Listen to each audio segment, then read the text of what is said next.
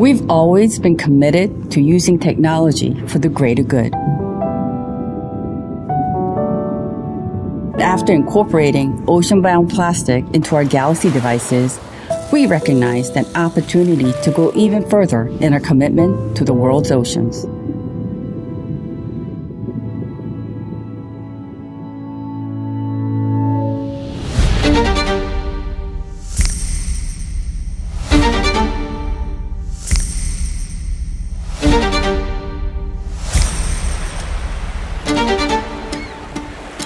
Nonde vekau na karo ni non karno anda valley.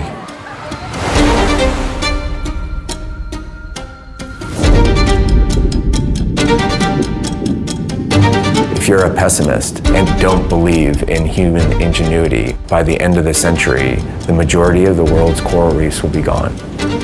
That's a real possibility. It's not just part of our culture, it's who we are. We're ocean people. It hurts. It hurts me.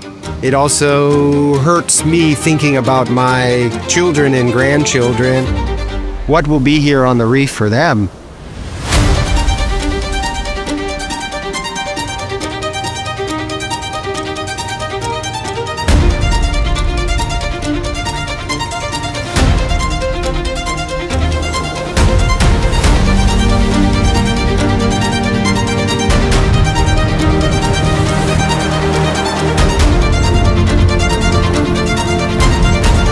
We're working together to save these vital yet endangered ecosystems, one photo at a time.